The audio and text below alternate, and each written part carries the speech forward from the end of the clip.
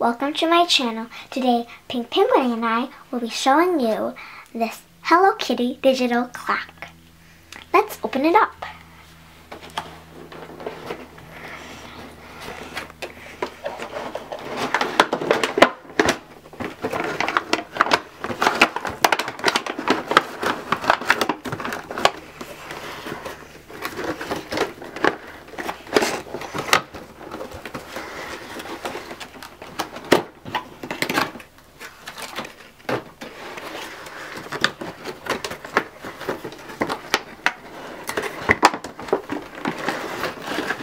It's a little heavy.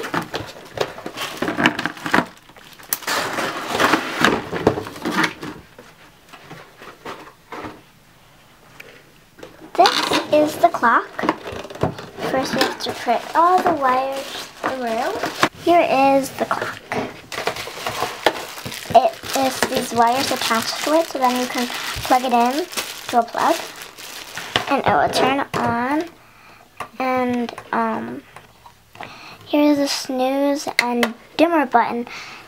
The, stu- the snooze when the alarm um rings then you hit the snooze and then it waits a few more minutes and then it rings again. Here's auto scan.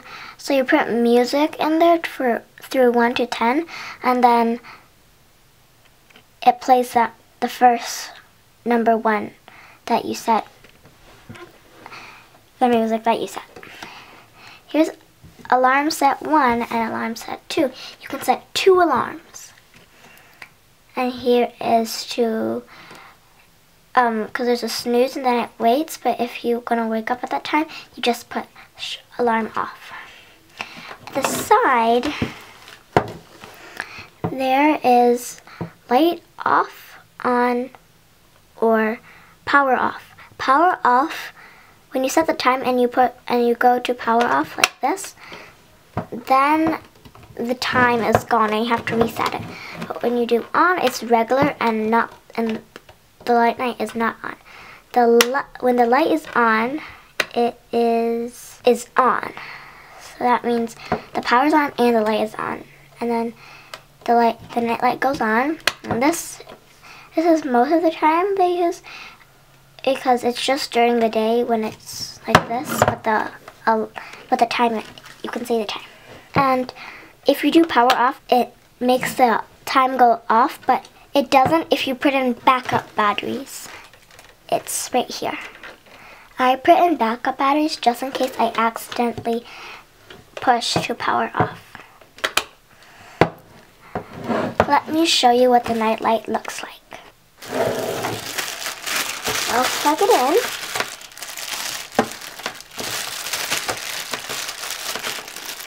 Instead of ripping out the plastic, you can just pull the string, the wire out like this.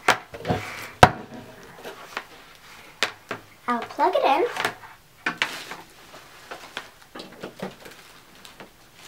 And then you go to the side and do on. So that is what the night light on.